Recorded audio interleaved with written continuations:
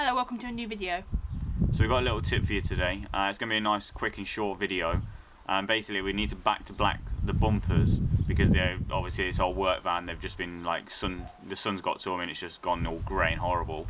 Um, so what we're going to do is we're going to wash them down first, and then you use a heat gun. Um, you have to be careful with heat gun, obviously, to make sure you don't melt the plastic and stuff. But you heat the actual plastic up, and I don't know the exact science behind it, but I'm pretty sure it brings the resin and the dye out of back out to the surface and makes them back to the original colour.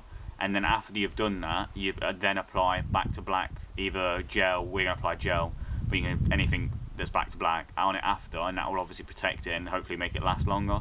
Um, it shouldn't take too long to do it. It should be, you know, I mean, after washing it, maybe half hour job, but that'll be front bumper and back bumper, and we'll probably maybe do the wind mirror as well if they need doing.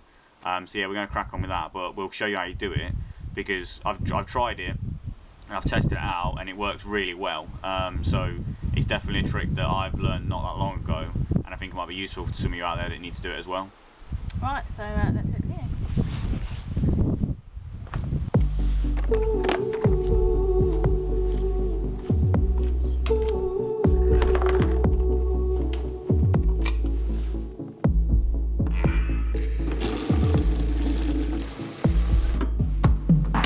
I'm waiting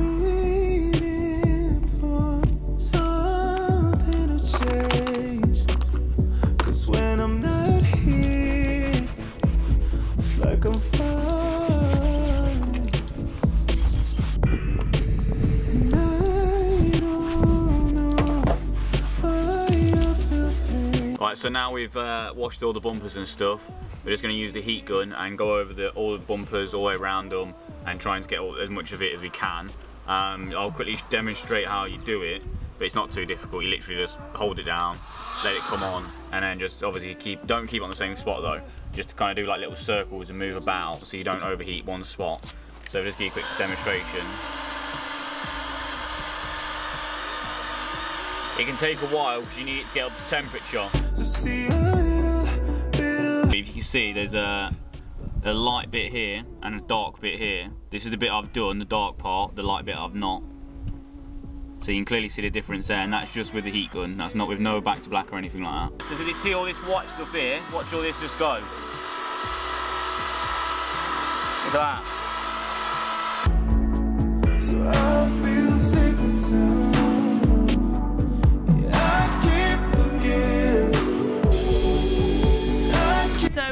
the heat grilling and it's brought it up really nicely. But we just need to finish it off with some back to black and using a mi microfiber cloth. And it's windy as well, so sorry about the wind noise. So what you do is you just put an even layer on all around and then leave it for a couple of minutes and then you come round back again and clean it all off.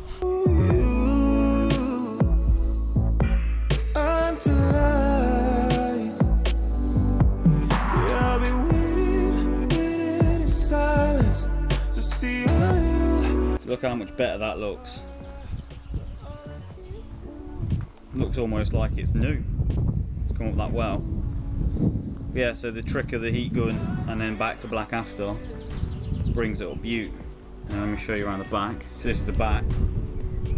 Yeah, I think it looks pretty small, especially compared to how it did look. So that's it for this video. I know it was only a short video today but I hope it was helpful. Yes, thanks for watching Don't forget to like, like and subscribe. and we'll see you in the next one.